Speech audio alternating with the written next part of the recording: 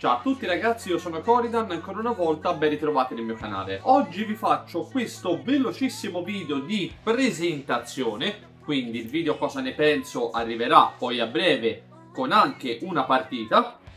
direttamente sul campo. Vi presento la nuova edizione di Hail Caesar in variante Epic della Warlord Games che io ringrazio di cuore per tutti questi prodotti che mi hanno offerto e di cui vedete una rappresentazione qui dietro nelle prime file. Quelli dietro è un altro gioco di cui vi parlerò comunque a breve, vi farò una piccola finestrella e poi ci farò un video dedicato. Uscito ad agosto la nuova versione di Hail Caesar in variante Epic. Cosa vuol dire? Hail Caesar è un gioco di battaglie nell'antica Roma repubblicana, quindi per la maggior parte guerre puniche, ma non soltanto, appunto dell'età classica dell'antica Roma, della storia antica, gioco della Warlord Games, uno dei più famosi insieme a Black Powder e anche Bolt Action. Perché andando appunto su un'ambientazione storica come questa è un titolo che è sempre stato venduto e giocato in scala 28 mm, quindi con miniature proprie dell'Osprey o anche della Victrix che poi vi farò vedere in un altro video dedicato. Comunque in scala 28 mm. La variante Epic che vedete qui accanto a me ci porta sul campo delle miniature preassemblate, quindi c'è da incollarle, sì, ma da incollarle giusto sulla basetta e finito, delle miniature in 15 mm che secondo me è la scala perfetta. Perché a volte io preferisco il 28 mm, eh, sono sincero, però a volte il 28 mm ci vuole un tavolo troppo grande, per il 32 non se ne parla, il 10 forse un po' troppo piccolino, questo, per farvi capire, quest'uomo albero è un 10, scusate questa driade dei boschi, di Episipano il 10 mm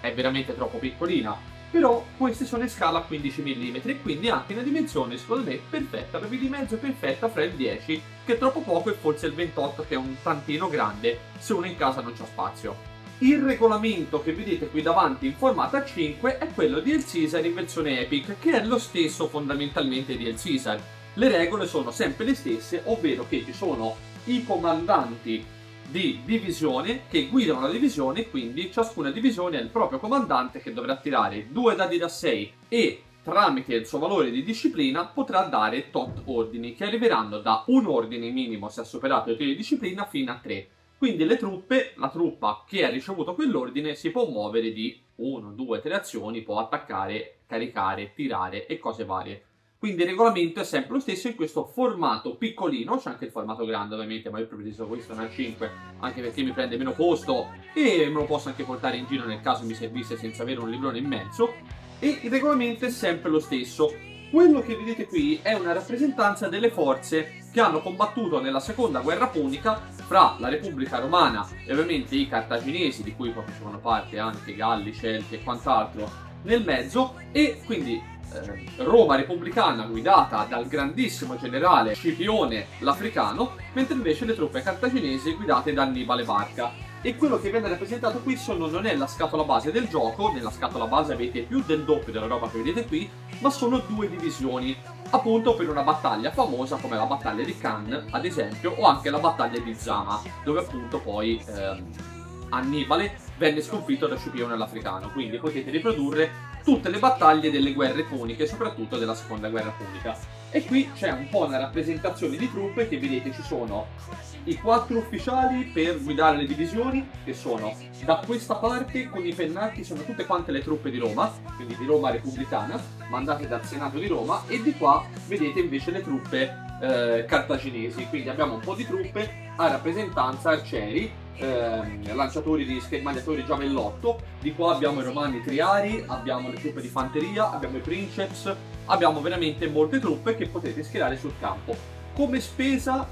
di solito dovrebbero venire intorno a una quarantina d'euro per ogni divisione, quindi se comprate il set base viene tipo 280-290 euro, che non è questo, se lo volete prendere a parte il gioco, il regolamento questo mi sembra venga 20-25 euro, una cosa del genere. Poi vi lascio il link sempre al solito, tanto acquistabile tutto da Gioco Libreria Simula, che è rivenditore autorizzato della Warlord Games, quindi è proprio rivenditore ufficiale.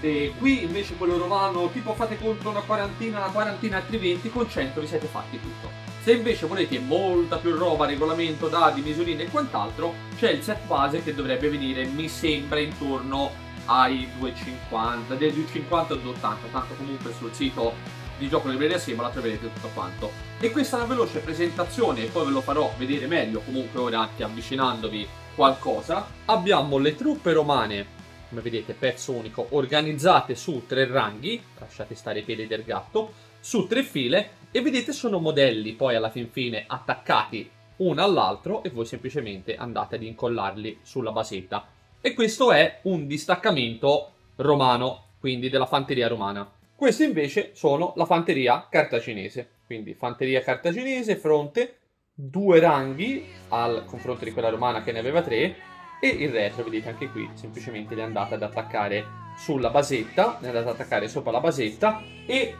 ovviamente due ranghi rispetto ai tre delle legioni romane perché le legioni romane sono molto meno la fanteria rispetto ai cartaginesi ma perché per rappresentare appunto eh, la forza anche di Roma. Infatti avranno delle caratteristiche migliori. Comunque come detto Hail Caesar in versione Epic è lo stesso gioco. Se avete giocato a quello in 28 mm è uguale con qualche regola e rifinitura per giocarla in questa scala anche perché le distanze di movimento cambiano.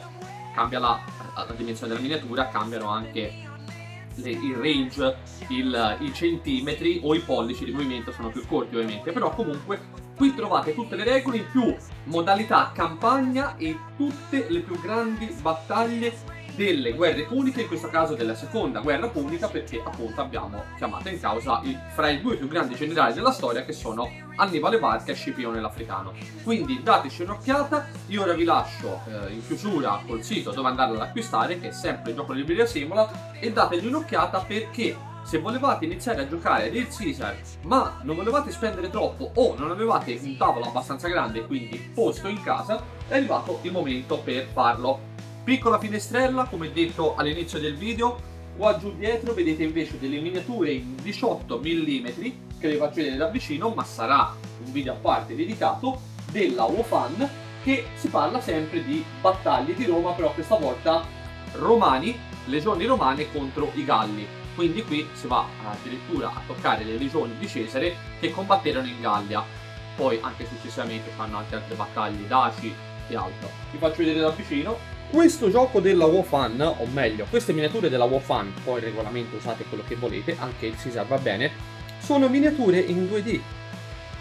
Questo è un gioco in 2D, sono stampate in plexiglass, predipinte e queste sono in scala 18 mm, quindi ancora un po' più grandi, e vi arrivano a casa, guardate, fronte e retro sono già dipinte in plexiglass, quindi anche bello duro, voi le staccate e le attaccate sulla basetta e guardate come rendono. Questo è veramente il gioco. Aprite, montate, giocate, senza nemmeno dover stare a dipingere. Ma come nel finale di Conan il Barbaro, questa è un'altra storia e ve ne parlerò in un altro video. Ciao a tutti!